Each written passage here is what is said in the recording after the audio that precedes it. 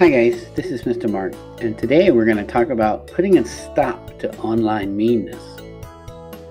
What should you do if someone is mean to you online? So first let's look at some key vocabulary. Online, that means using a computer, a phone, or tablet to visit a website or an app. Cyberbullying, using digital devices, sites, and apps to intimidate, harm, and upset someone Intimidate means to personally scare that person, which is not very nice. In online meanness, we will look at how it can happen, what to do when it happens to them or to someone they know. So, what does mean behavior look like? Well, making fun of how someone looks, spreading lies about someone, saying rude things to them. And how does that make people feel when you behave like that? Well, somebody could feel hurt. They might get angry and want to be mean back to you. They might be upset or they could be scared. What should you do if you ever experience someone being mean to you or if you see someone being mean to another person? Well, you should tell your mom or your dad. Or tell a teacher. These are trusted adults. So make sure you tell a trusted adult. Why do you think someone would want to be mean to someone else online? Maybe they were trying to joke around. Or they feel badly about something about themselves and they're taking it out on someone. That means they feel bad about themselves, so they want to make somebody else feel bad too, which is not very nice. People might say things online that they would never say face to face. They don't have to actually see the person face to face and see the other person's emotions. Let's take this teddy bear. Pretend your little teddy bear, who you actually love, is someone you know. And you say, I can't believe you like superhero shows. That's something my little brother would watch. To make him seem like they're a baby or something. But then, let's look at it online when two people are chatting. First person types, Hey, have you seen that new show, Fly Sweepers? It's so cool. And the other person says, I can't believe you like superhero shows. That's something my little brother would watch.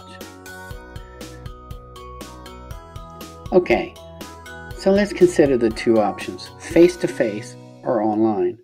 Well, if it's face to face, it's still mean, and online, it's still mean. It's harder to say face to face because you can hear the tone of the voice and you can see how the other person reacts. But online, it's easy to type. You can't hear the tone of the voice, and you don't have to see how the other person reacts. So, for some people, they might think it's a little bit easier. However, keep this in mind.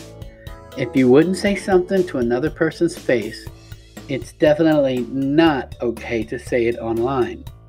Don't forget that. Okay, I'm going to teach you how to remember what to do when you see online meanness. So, first, think of the word stop. The S is for step away. Why do you think you should stop using your device and step away? So, you come to your device and you find out that something's wrong. Why do you think you should stop using your device and step away? Maybe count one, two, three, four. Maybe that'll make you more calm when you try to figure out what to do. Let's look at the next one. Tell a trusted adult. Now, who did I say was a trusted adult? Your mom and dad or your teacher?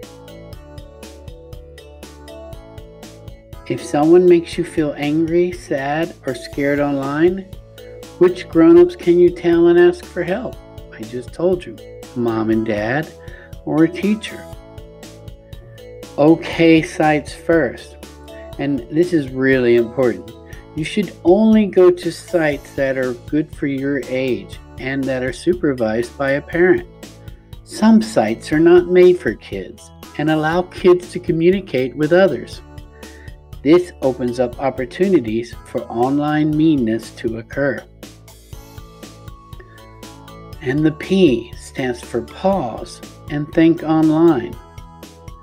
Would it be helpful to talk to the person who is being mean? Or maybe it would be more helpful to let your trusted adult, your mom and dad, or your teacher talk to the person who's being mean.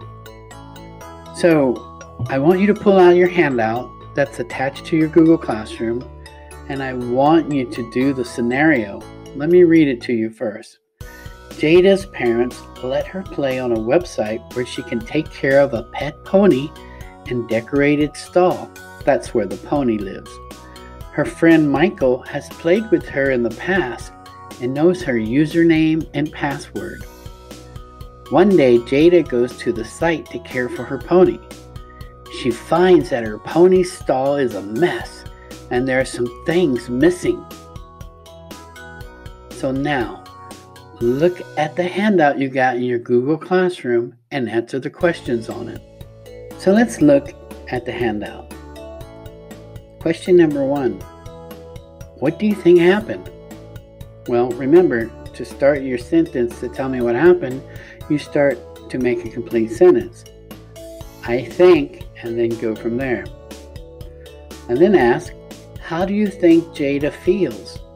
Well, she found her stall and it was messy and things were missing. The only one who has her password is Michael, her friend. How do you think she feels? What advice would you give to Jada? And this is number three.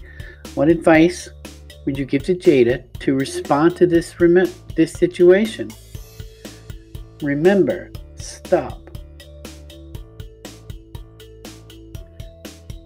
So stop online meanness. Pause and think a moment. Draw a picture about what you should do if you experience someone being mean to you online. And then explain what you should do if you experience someone being mean to you online. We go online to watch videos, send messages to people we know, play games, and do homework. Lately, a lot of homework online. Sometimes people say mean or scary things. If you ever experience someone being mean online, remember to stop. Remember what that was?